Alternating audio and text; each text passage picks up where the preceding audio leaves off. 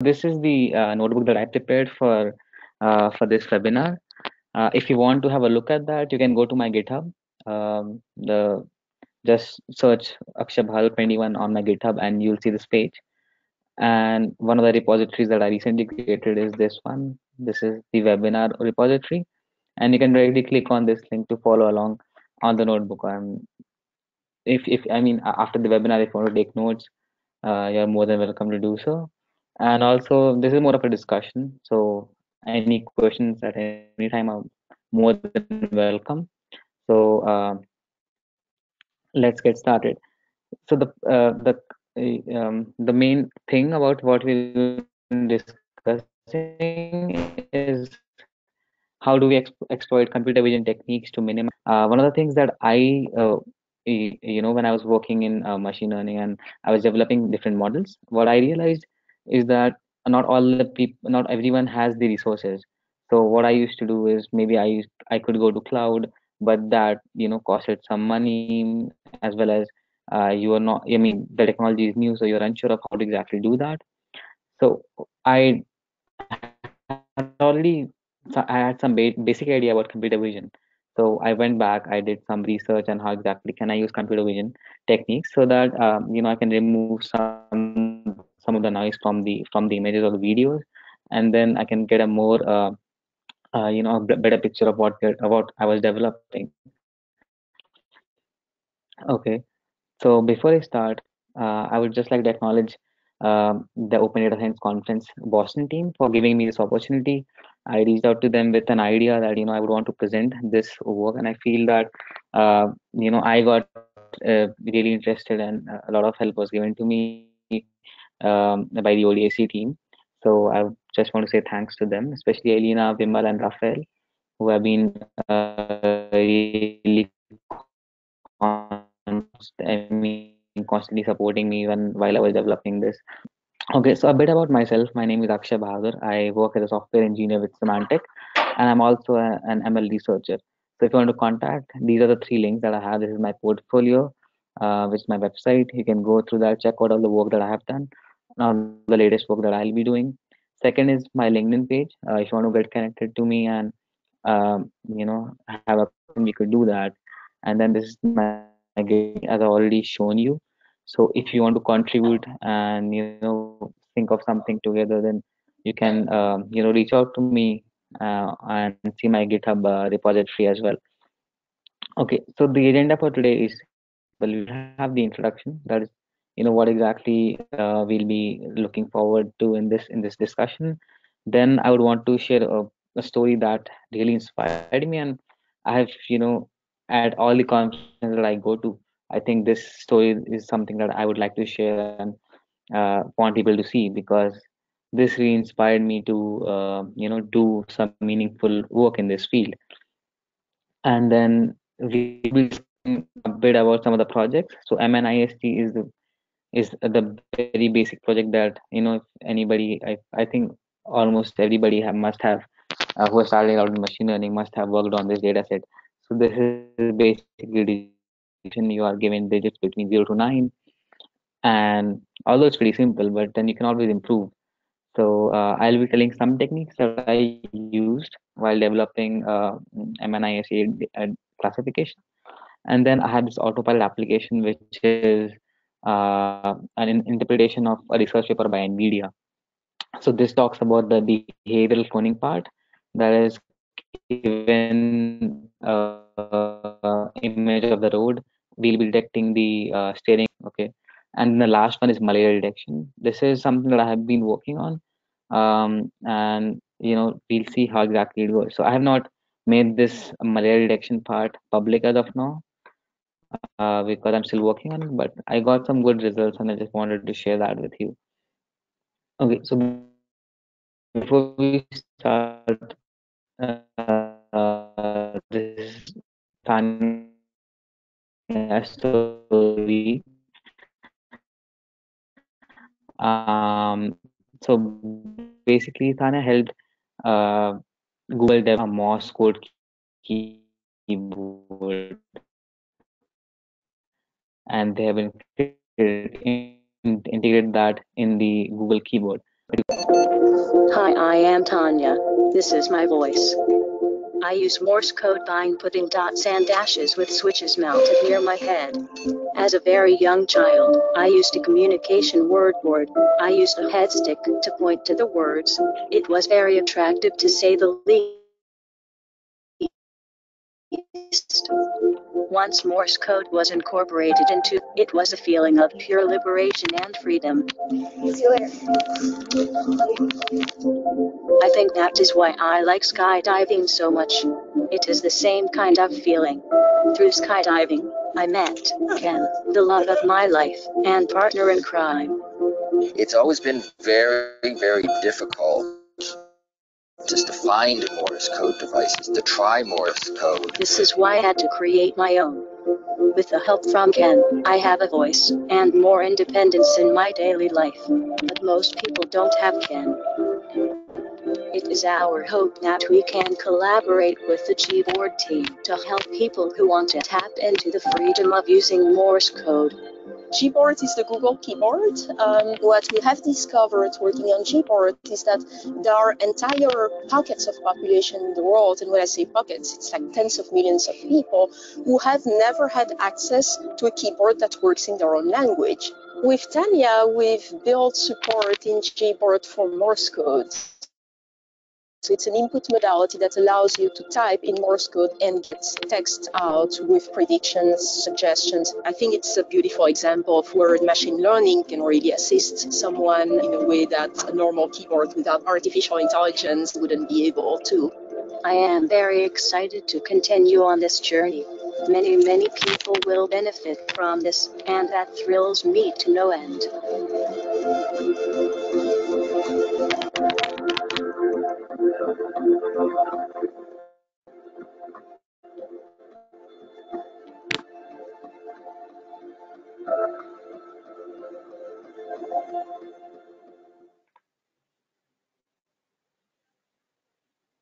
Uh, so this was Tanya's story, and I looked at it. I think a couple of, I know, it has been a long time, and at that moment I realized that you know, this is why I wanted to get into this field. That is to help people. Okay, and since then I've been trying small, small things uh, to uh, you know contribute into this field.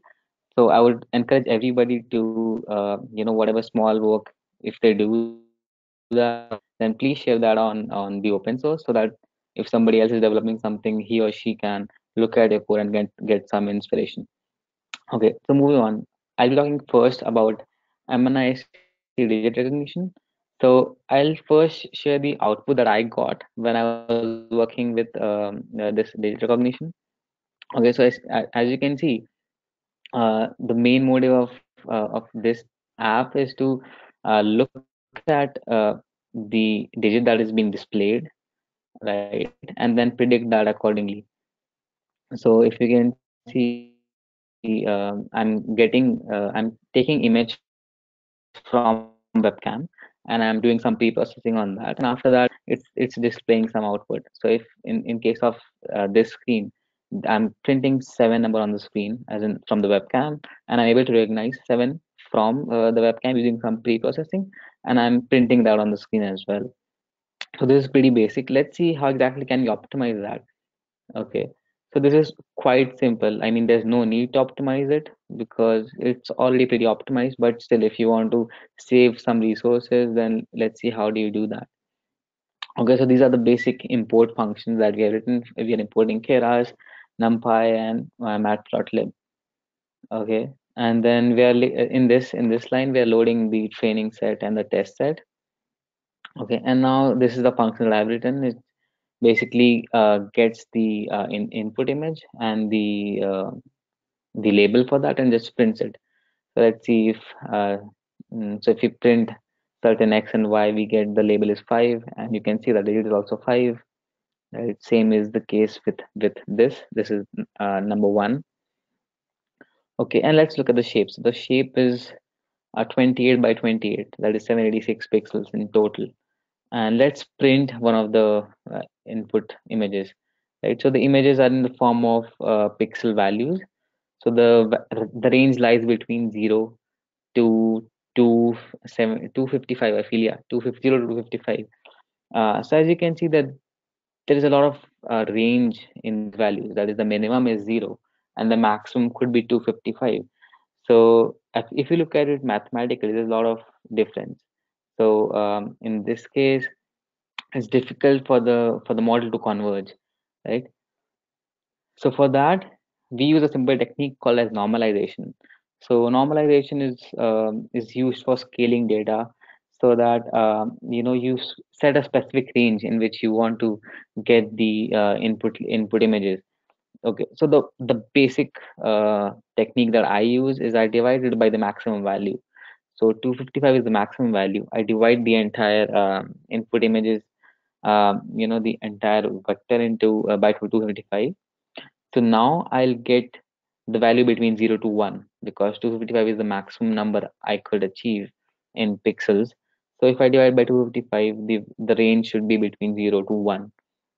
Okay, and that's exactly what I get. So the shape remains the same, right? So x, x train norm is I've normalized the data, and if I print the shape, the shape will remain the same. It's 28 by 28, right? And then I'm going to print the first example and earlier if you can see that the numbers were all um, scattered between 0 to 255 right now you get a very clean image uh, with values ranging between 0 and i think this is the maximum one you know one so this actually helps because the mean of the entire distribution is 0.5 so it becomes better when you're converging it right? It becomes it becomes easier for the model to train on this. Otherwise you'll get a lot of uh, you know spikes in your in your training uh, you know the training time that it's required. It it might take a lot of time or it might not converge at all. So this is one of the basic techniques that uh, you know that you guys could use. Okay. So yeah and then the other technique that i use is that um, so in in the in the previous technique what we are doing is we are dividing by the maximum number so if you look at it, the values will lie between 0 to 1, right? And the mean is 0.5. But mathematically, seen that if the mean is 0, then at that point, the model will perform even better. So what you could do is you can divide it by the mean, right? The, the mean will be 127.5 for 0 and 255.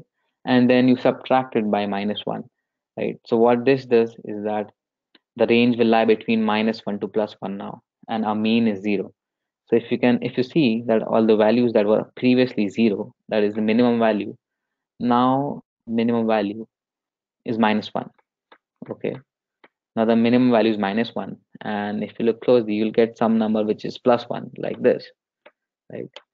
So we have a minimum minus 1 we have the maximum plus 1 so the mean is 0 and in this case you'll get a nice uh, if you plot the contours of your of how you're training, you'll get a nice circular shape of how exactly your model if the model is trained.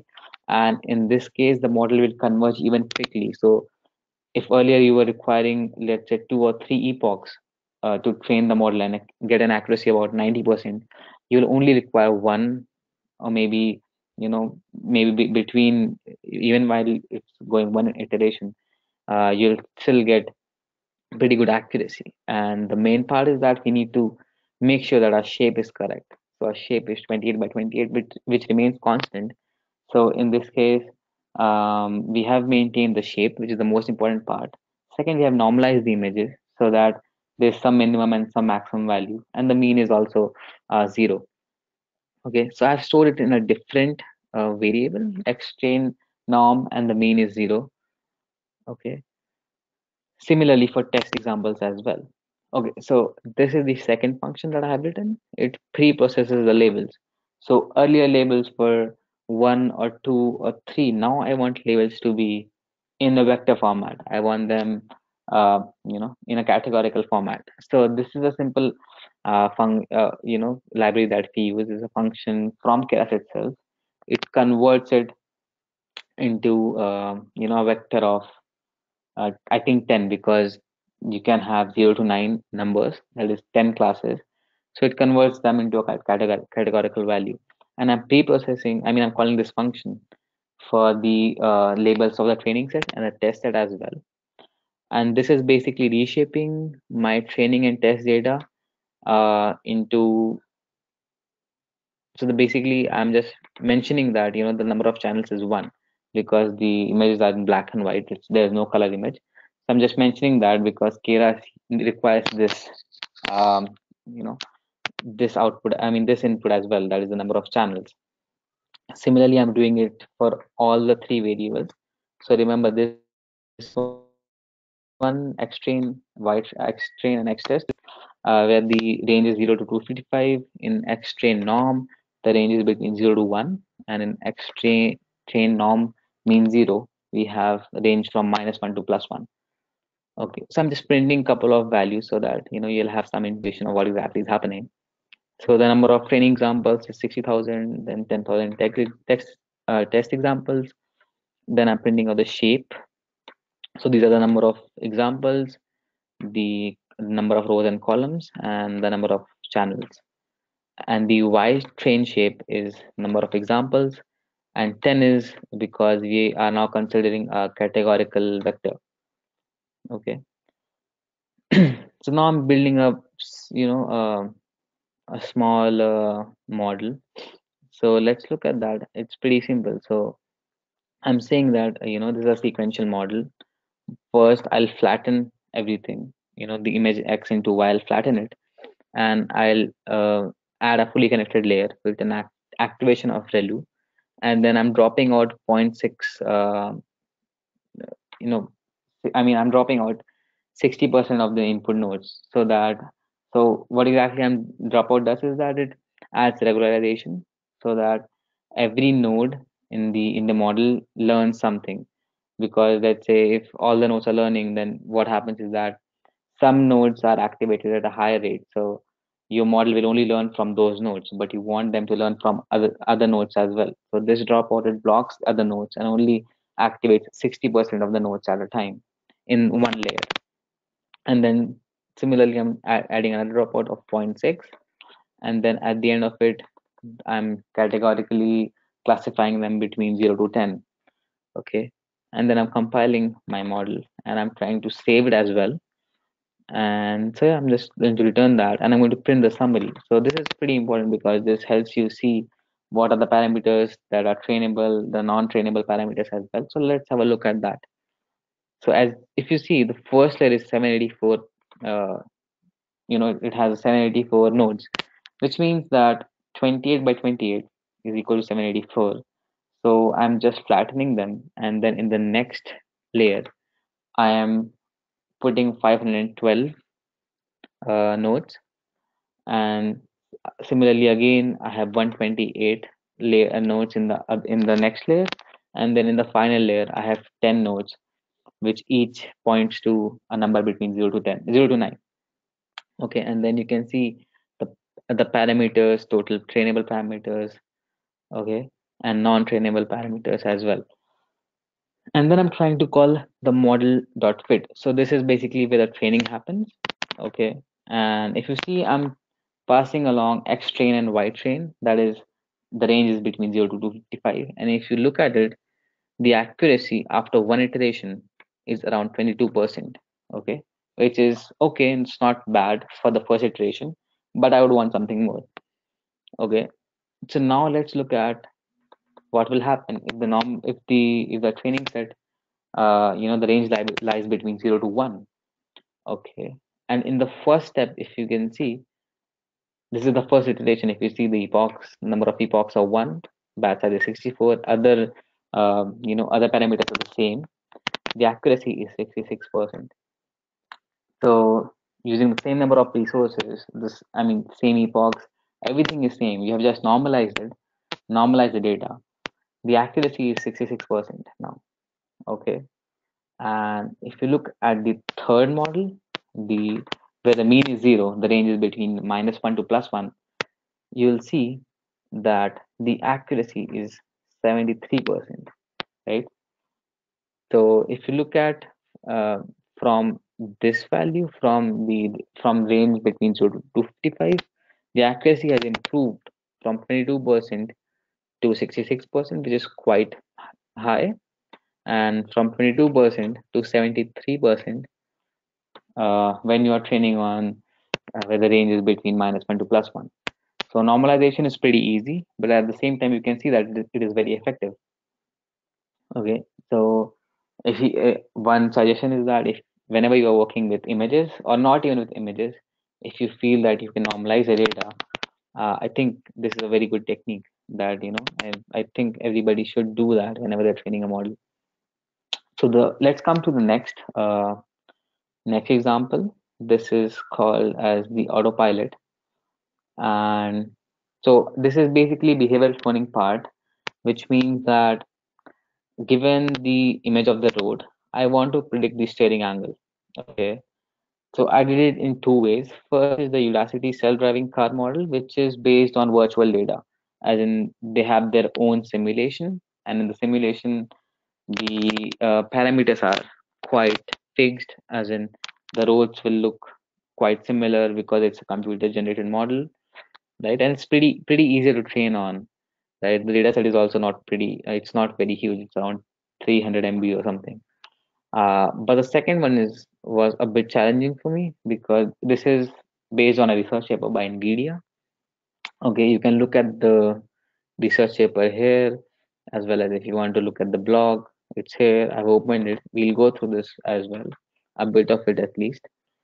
Okay, and then this is a description exactly how this happened if you want to work on it, the data sets for the V1 and V2. V1 is Udacity, second is NVIDIA. If you want, you can get the data set from these, you know, these places. And then I've given some references, references from where I have, uh, you know, looked at some of the implementations. So let's see how exactly uh, my model worked. Okay, so I use a lot of techniques uh, to optimize it to make sure that I can train it on my CPU and not GPU. So if you see it, it's a bit shaky when the predictions come into picture, but other than that, on the road it performs quite well, right? So on open roads, if there are no pedestrians, then it performs really well. So this is something that uh, I think it's mostly related to um, it's mostly related to the number of resources that I had right? But I think this was a good uh, model to start with. And this is on on my GitHub as well. If you want to contribute, if you want to improve the model, you can do that, right? So as, as you can see, it it performs it performs equally well. I feel that uh, you know at least in open uh, roads, it's performing well. So I'm pretty much okay with it. Okay, so oh yeah, so let's uh, look at this. Uh, so this is some of the imports that I have done. Then data data i'm loading the data right? Let's so let's look at uh, you know the how the images are. Okay. So yeah. So this is basically show data function which uh, lets you see the data and if you look at it these this is the important part the number of rows columns and the color channels so the images have a height of 256 uh, with a 455 and three channels. So this is a pretty heavy image. Not very heavy because it is not HD, but still if you want to work uh, with it and if you want to build a model uh, on CPU, it becomes extremely difficult because it takes a lot of time to uh, for for a CPU to train, uh, you know, train this model. But if you're working on a GPU, then you can very easily do this. Right. So this is how the data set looks like. Um, you can see that this is the image don't look at the label i've just used the same function so the label value does not make any sense right but in the original dataset the label is the steering angle okay i'll i'll show you that as well. That's also in this notebook. Okay so let's look at another uh, data. I mean another image. This is how the looks like. Okay. So what i've done is that uh, instead of using all the channels okay and uh, the entire image i've resized. So by resizing i mean i've reduced the number of uh, you know the height and the width of the of the image okay and in, in that what happens is that the number of pixels get reduced so that you have less pixels to work with and also one of the things that i did is that i added a preprocessor so that uh, I don't want to use all the three channels, right? All the three channels are not very necessary for me. I mean, it might be if I want to build a better model, but if I want to get something, you know, just to just get me started and just to get some intuition from, I'll probably use maybe black and white image or some other image format because as you can see that the road is pretty dark as concern as you know as compared to other parts of the image so if you just look at the road, the road is a bit darker than the other parts of the image. So I've built a model according that. So if you look at this pre-process function, what I'm doing is I'm resizing my image, right? I'm resizing my image into 100 by 100. So earlier the image was 256 into 453. I've resized that into 100 by 100. Okay. And then this is the important part that I'm doing. I'm saying that, you know, convert the image. So it is basically uh, mostly black and white, but you get saturation value of of different color ranges. So if you want to, uh, if you want to read more, you can Google mm, that up. But it's simply if you want to ask me it's simply uh, you know different dark regions are portrayed darker uh, um, and clear images or clear regions are a, a bit bright so this is how the image look like so the original image is this okay this is the original image and this is the converted image. Okay. So as you can see uh, the road has a pretty distinct feature. That is the side of the roads are black pretty dark in color center is a bit dark and these are the other regions. So this is the trees the bushes right? So it becomes pretty distinctive. And, and for this image this image if you see this is how the converted image looks like. So you can see a pretty distinct road and the trees. I mean for human eyes it's a bit difficult but for the computer it can easily recognize some pattern that you know whenever i find something like this this is basically a road and based on the road i have steering angles. Okay. So this is simply i'm importing all the all the uh, libraries that i'm using like keras and a sklearn okay. So this this piece of code it just gets collects data it collects the image from from the folder and the steering angle as well. And it does the pre-processing. So the pre-processing is uh, you know this is the function that we have written to convert image into hsv uh, and resize that as well right? And i'm storing it in pickle in a pickle file okay. So this is for storage. I'm dumping it into pickle files. Okay. And in the next piece of code i have load I, I mean i have loaded the data from the from the pickle files. Okay. And, and this is where i'm loading the data. And then i'm shuffling it so that you know you get different uh, you know different images of uh, of different roads and not just a series of images from the same road that helps in better training and then i'm splitting the data uh, in, in a ratio of 70 to 30. So 70% is my training set, 30% is my test set.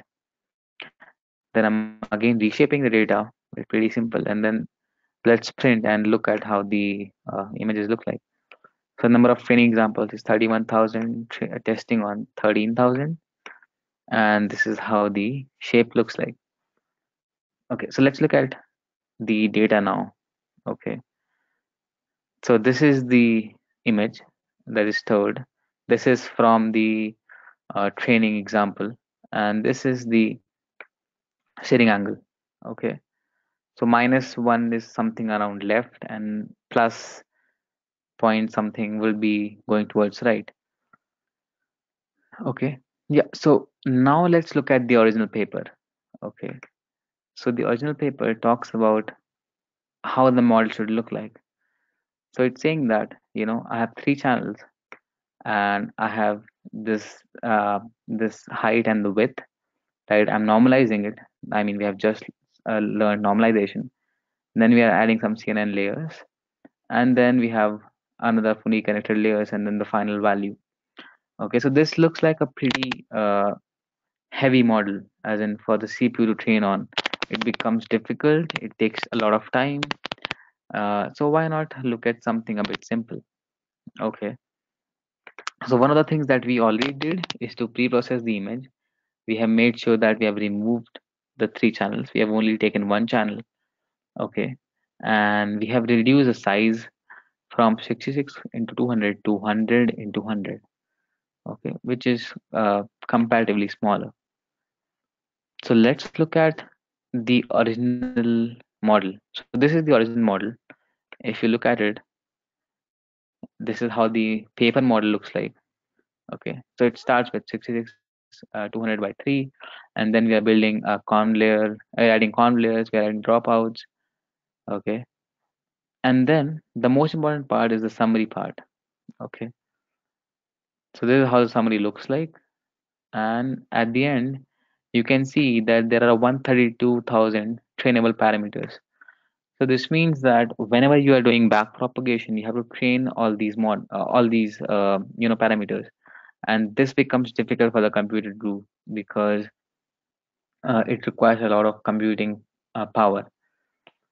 Okay so let's look at the model that i developed. Because we have pre-processed the image we know how the uh, you know how the image looks like.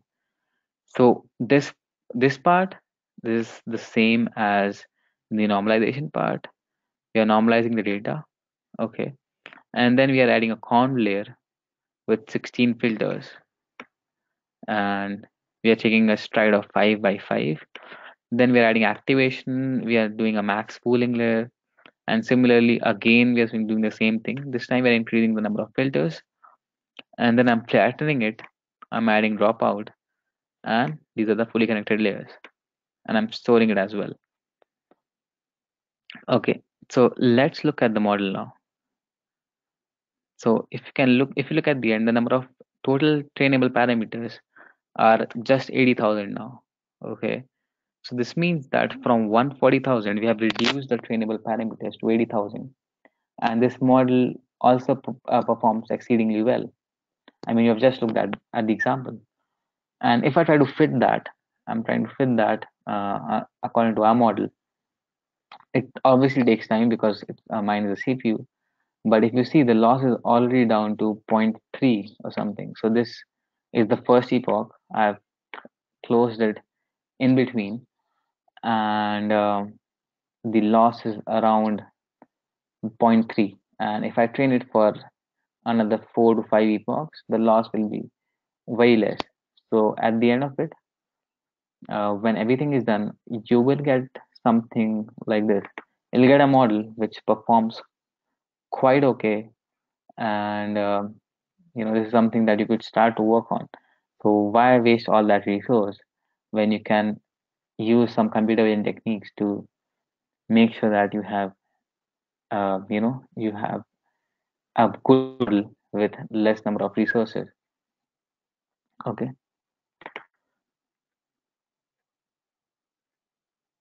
So yeah so this was uh, about autopilot.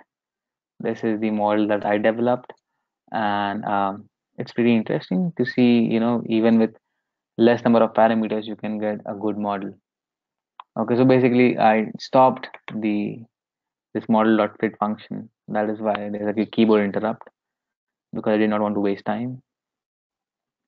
Okay and this is the malaria detection.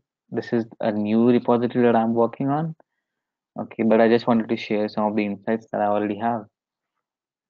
Okay. So i'm importing all these uh you know all these libraries. Let's see how the reader looks like so this is how the infected cell looks like. So this is the cell and these are i think this is how you spot malaria if you get these pink dentures okay? And one more if you look at this data it has some pink pinkish formation or purplish formation added. And if you if you see that then that means that the image is parasite so it uh, it contains malaria And let's now look at the normal cells. If you see there are no pink dentures, it's clean, uh, clean and simple cell. And similarly for this one as well. So, you know, all, although the color might be a bit different, uh, but you can see that there are no, uh, you know, no purple formations or anything like that. Okay, so now we're trying to add some filters. So this was, I was working on, uh, you know, adding different filters and if I could get something, we can also use other techniques uh, to get uh, more intuition. But I thought that, you know, why not just use the main build function and see how exactly that works. So this is how HLS uh, conversion looks like. If you want to mo read more about HLS, um, you can definitely do that. It's also basically uh, getting diff. I mean, if there's a change in color, it uh, recognizes that and it turns it into a yellowish pigmentation, as you can see. So it's able to recognize the the purple dendrites uh, you know, the, sorry, the purple dentures. Uh, but at the same time, if you look at the uninfected images, that is the normal cells, because there might be some change in value, color value, it's also picking a lot of noise around this part. So if I want to train my model on this, on this data, uh, it becomes difficult, okay? Similarly, so now I've used HSV format, the same format that we use for autopilot. Now I tried to do something similar for uh, you know malaria as well, and, and I just thought that it might work. So it's working pretty okay with the uh, infected, uh, you know, infected cells. You can see that the pigmentation around the around the pink uh, you know formations or the purple formations it's able to capture that but at the same time if you look